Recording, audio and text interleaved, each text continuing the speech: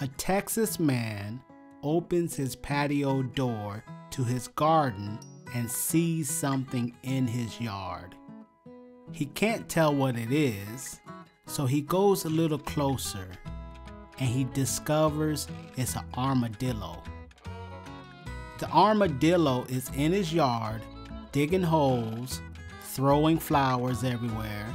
He is just wrecking shop, destroying his garden. He was on the hunt for worms, beetles, and other insects to chow down on. So the armadillo's out there having a great time, burrowing into the sand, having no cares in the world. And the armadillo doesn't see the man approaching him. So the man thinks, I got him. Now say your prayers, varmint. And he goes back inside and he grabs his 38 special revolver and loads it up full of bullets and walks outside like he's Clint Eastwood in the good, the bad, and the ugly. And things turn ugly because he starts blasting at the armadillo. Blam! Shoots at it once. Blam! Another shot rang. And the armadillo just stares at him. And he's not flinching. The armadillo's taking the bullets like he's Jason Statham on Wrath of Man. So he shoots at the armadillo once more. Blam! And this time the bullet goes bling and bounces off the semi bulletproof armor that the armadillo's wearing and turns and ricochets back on the Texan and shoots him in the face. So he's in agony. I just got shot. So he calls the number to the ambulance and they're like, Are you having an emergency, sir? Are you hurt? He's like, I'm no doc, you flea bitten varmint. I just got shot by an armadillo. So the dispatcher sends out the ambulance and they make it to him on time and they wire his jaw shut as he just took one in the face and they airlift him out of there. And after he was airlifted, they said they looked for the armadillo, but they couldn't find it. It must have made it back to his home, and it probably bandaged himself up and healing some before he takes his revenge on the man who shot him. So he's probably in the ground sleep right now. Did you know you don't really see armadillos because they sleep like 16 hours a day?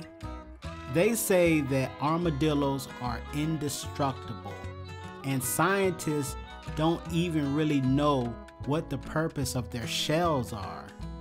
They don't know if it's for burrowing into the ground, or for protecting them, or for protection from predators. Who, if a predator animal eats one, would probably be like eating a jawbreaker. But what I'm finding out is the armadillo is kind of a badass.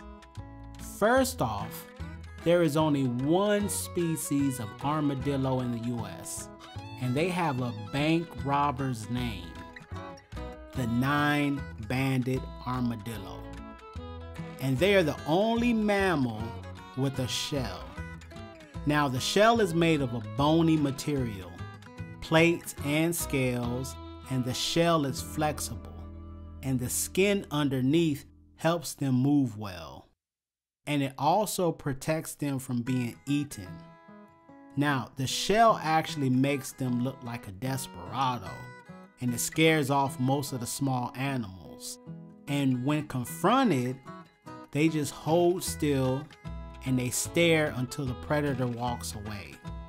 Oh yeah, and if you didn't know, they can jump like three to four feet in the air. They'd be like, what's up? They do this to kind of scare off the prey. They're like, what you gonna do? And they jump up in the air, what's up? What you gonna do? And it kind of scares off most of the predators. And let's say something attacks it, right?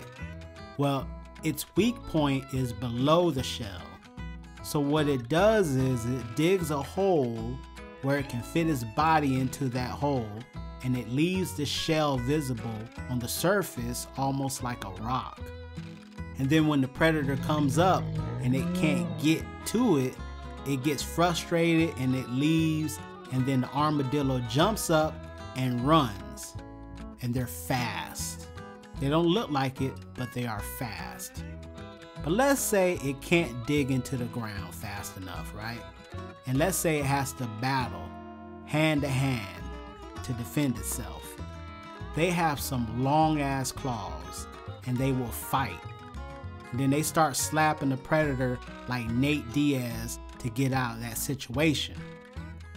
And let's say the armadillo starts losing the fight, is getting his ass whipped, like he's fighting Max Holloway. It will take the last resort to play dead. He'll be like, Oh, you got me, bro. And then when his opponent is celebrating the win and he's on the ground playing dead, when the opponent's not looking, it would jump up and it would disappear. So, just a news alert for you. If you see an armadillo, report it or just leave it alone. Don't run inside your house and grab a gun like this Texas guy did because it can backfire.